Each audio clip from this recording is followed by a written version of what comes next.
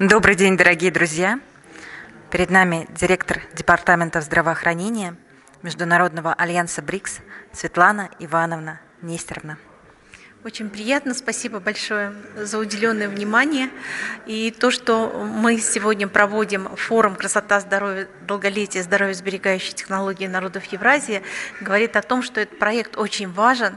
И в рамках э, поданной инициативы президента Владимира Владимировича Путина о создании национального проекта технологии здоровья и сбережения, это очень важный шаг – продвижение наших российских технологий как в самой России, так и на рынке БРИКС, СНГ, ШОС и АЭС.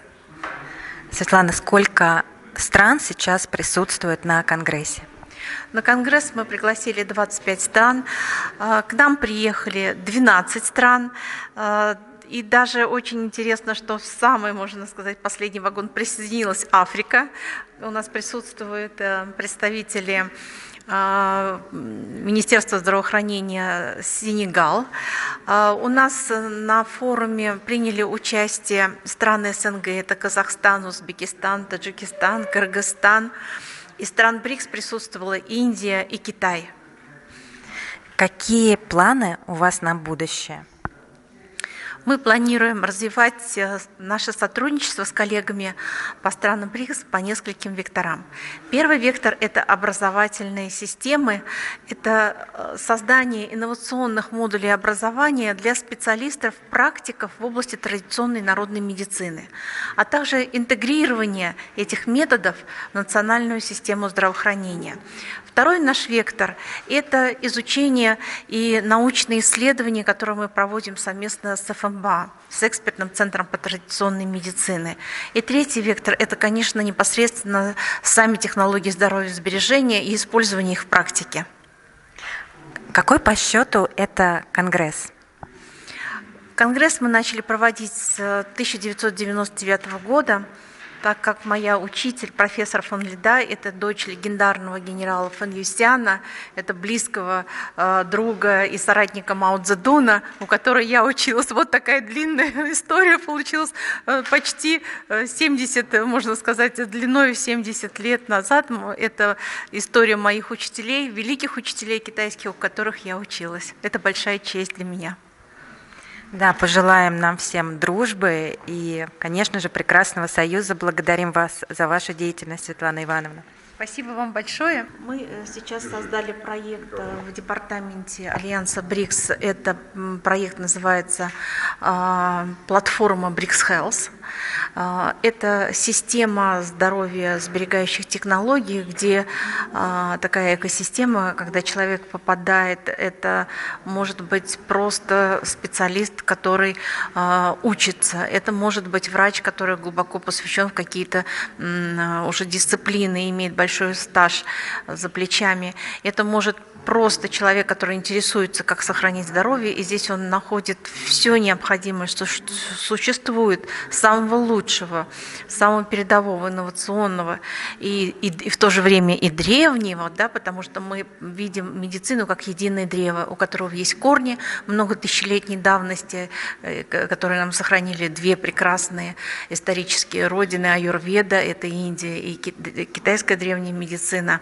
Это ствол, это современные технологии и инновации, уже космические разработки, которые потихонечку приходят к нам в жизнь. Например, есть такой метод, о котором сейчас рассказывает наш ученый из МГУ Ковальков, а, Валерий Константинович, о том, что есть методика, которая можно использовать абсолютно неинвазивно, выявляя, быстро, выявляя четко, быстро очаги предонкологические.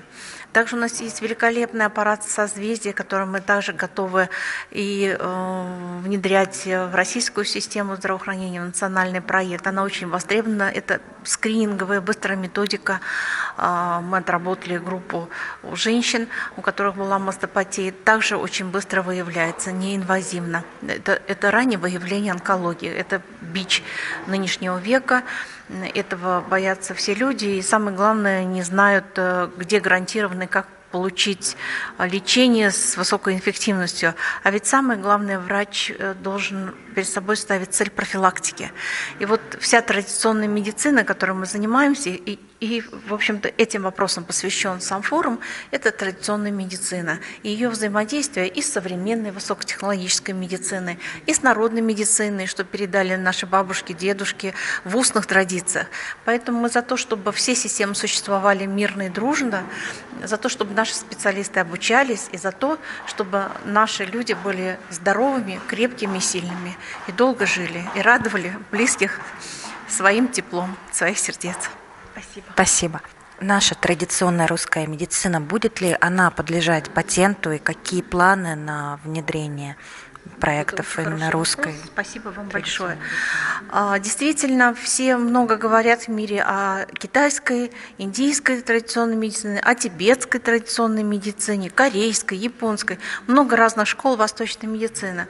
Но мало кто понимает для специалистов врачей, что, оказывается, в России есть своя школа традиционной медицины, а она не менее богатая, а может быть даже более. И ранее она и существовала в системе а, здравоохранения до 2007 года, когда был, работал федеральный центр в структуре Министерства здравоохранения, и традиционная медицина являлась его частью. Что изучалось в стенах федерального центра традиционной медицины? Это диагностика разными методами, это и э, фитотерапия, потому что та, тот богатый кладезь э, русских травников, который хранился в монастырях, а раньше монастыри по Руси это были э, центрами медицины, где монахи не только служили Богу, но они еще служили людям, собирая травы, используя так называемую монастырскую медицину. Также они владели костоправством. У нас сегодня будет мастер-класс, посвящен вопросам костоправства.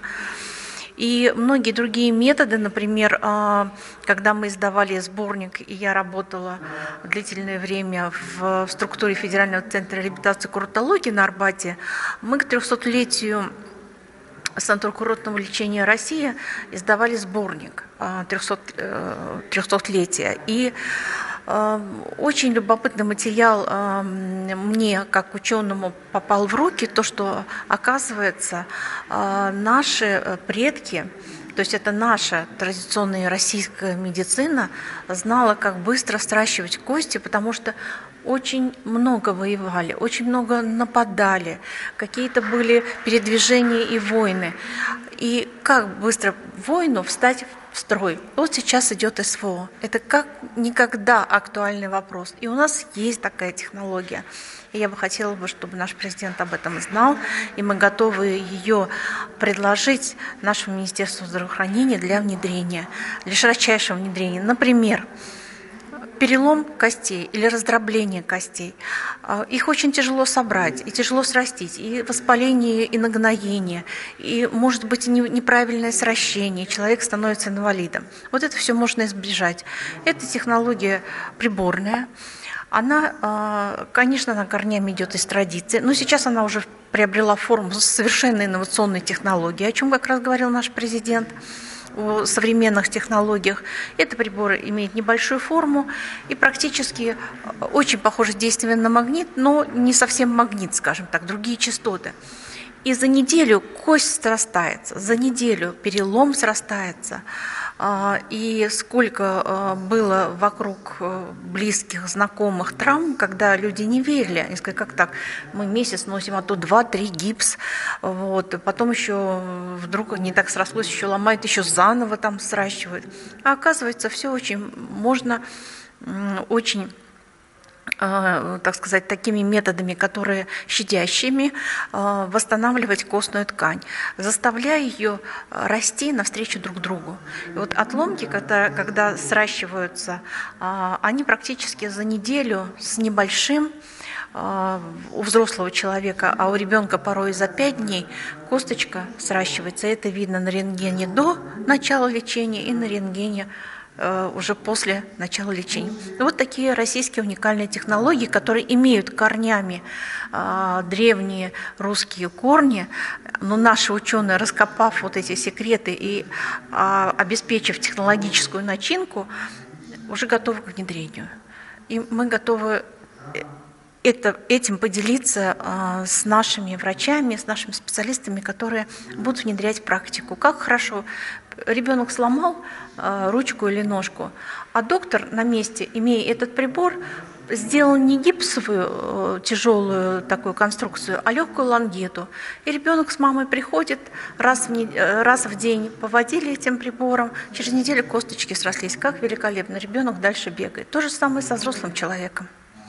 А как вы считаете, как, каковы шансы внедрения всего нашего наследия и тех технологий, которые уже существуют, о которых вы сказали, в нашу классическую, традиционную академическую медицину? Какие шансы? Да, я думаю, что шансы очень высокие. А, э, есть э, такое понятие в медицине, как формирование доказательной базы и проведение клинических исследований, так как без клинических исследований невозможно допустить методы или средства к использованию дабы избежать вреда или каких-то побочных эффектов. Поэтому и в Министерстве здравоохранения существует на базе федеральных центров клинические исследования, которые профильно проводятся, там кардиология, нефрология там, и так далее. Вот. И мы готовы, у нас подписан договор Академии традиционной медицины с федеральным центром куртологии ФМБА, мы готовы проводить клинические исследования на базе экспертного центра традиционной медицины, который был создан в 2022 году при поддержке исполкома СНГ. И там же мы формируем реестр, потому что это самое э, то, с чего нужно начинать. В 2007 году был закрыт федеральный центр, и практически провисла а, в России вот эта ниша, связанная с целой отраслью, с традиционной медициной. А, внимание Минздрава было смещено в сторону, наверное, больше высокотехнологических методов фармакологии, а традиционная медицина осталась в сторонке. А Китай и Индия, а как восточные наши соседи, поступили мудро. Каким образом? Они и ту, и другую систему приемлют, они и то, и другое используют, ничего не отталкивают. Но в каждом конкретном случае они выбирают лучшие методы, которые помогут человеку. Я думаю, что это самый правильный путь, и это путь интегративной медицины, о чем и говорила наш министр здравоохранения на Дальневосточном форуме Вероника Игоревна Скворцова, что врач будущего – это врач интегративной медицины. Я подтверждаю. Спасибо. Расскажите, в чем разница традиционной и нетрадиционной медицины? Многие путают эти термины. Спасибо вам большое за вопрос. Вопрос действительно актуальный. Слово нетрадиционное – это слово, которое пришло, ну, скорее всего, оно сленговое, сложившееся в силу непонимания, с чем человек имеет дело.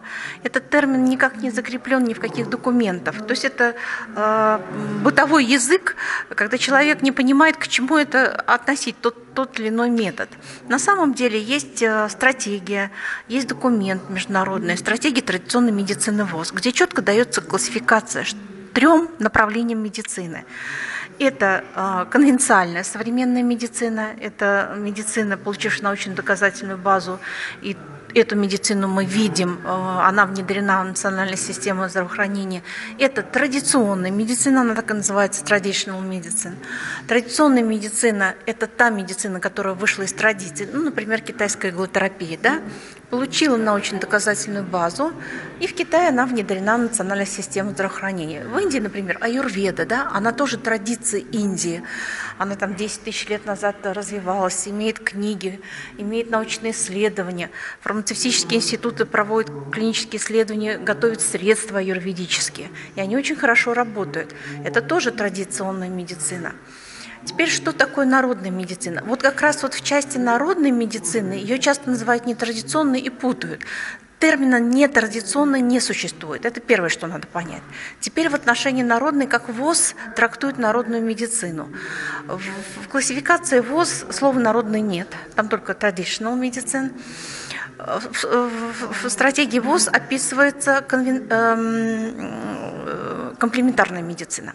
Комплементарная медицина, а, она под собой имеет Э, как бы свойство жить в народе, то есть это народная медицина, э, медицина, которая создавалась народом, и чаще всего это передается в устных традициях. И то, что мы называем народной медициной, то, что у нас специалисты, не медики, э, имеют сертификат целителя, это и есть народная медицина, а, а Всемирная организация здравоохранения в классификации она называется комплементарной медициной. Именно поэтому так называется у нас и закон, 50 статья 323 ФЗ, закон о народной медицине и диплом – получает специалист, доказавший свою практику руками, ручной практикой, или что-то он там умеет делать, какие-то травы соединять и заваривать, и тоже эффект хороший. Но нет клинической базы и нет образования медицины. Но тем не менее этот человек помогает другому человеку. И это уже идет ряд э, 10, 20, 30, 100 человек, которые говорят, да, это помогает, и нет побочных эффектов. И тогда такому специалисту, не имеющему медицинское образование, наш Росздрав выдает диплом целителя. Вот это и называется народная медицина. Поэтому есть четко три классификации. Современная конвенциальная, традиционная, которая имеет научно-доказательную базу, как иглотерапия, аюрведа, рефлексотерапия и так далее. Даже физиотерапия тоже вышла из природных методов. В санаторно-курортном лечении используются три метода традиционной медицины. Это грязелечение, это минеральная вода лечение, минераль, лечение минеральными водами а, и а, лечение природными веществами. И вот это э, комплекс, который у нас уже внедрен, это есть наша российская традиционная медицина. И та часть, о которой я говорила, которую часто очень путают, называют ее нетрадиционной, это народная медицина. А, она в концепции ВОЗ называется комплементарной. И очень важный момент, который прошел в Индии, в штате Гуджарат в 2023 году, а, была подписана Гуджаратская декларация, где уже официально прописано а, в МКБ 11, это международная классификация болезней, что будет внедрена традиционная медицина и использование методов средств в назначении клинических рекомендаций врачей, что очень давно все ждут врачи, потому что все знают, что да, а, мы можем назначить полоскание, условно говоря, ромашкой, терапевт смотрит, но он не может его назначить, потому что клиническая рекомендация не позволяет ему дополнительно к тому рецепту, который он выписывает, э, к химическому средству, может оно эффективно, но какой-то кусочек не хватает, что-то вот ткань долечить, дать ей возможность восстановиться. Поэтому хорошо э, и, и то, и другое, как называется, западное и восточное. Все должно быть вовремя и в нужное время, и дозировано, которое необходимо именно самому человеку. И вот в отношении Гуджаратской декларации эм, четвертый вид, объединяющий это интегративная медицина, был, уже внесен в Гуджаратскую декларацию. И я так полагаю, что в дальнейшем будет формироваться как специальность врача и традиционной медицины у нас в России, потому что она у нас осталась пока в воздухе. И врачи, хотя и используют в своей практике эти методы, но специалитета нет. Он у нас разрозненный. И, конечно, в дальнейшем, то, что и говорила Вероника Игоревна, это когда врач знает и древнюю медицину, и современные технологии, и какие-то космические, что там используют. И когда он это все собирает в охапку ради здоровья человека, это вот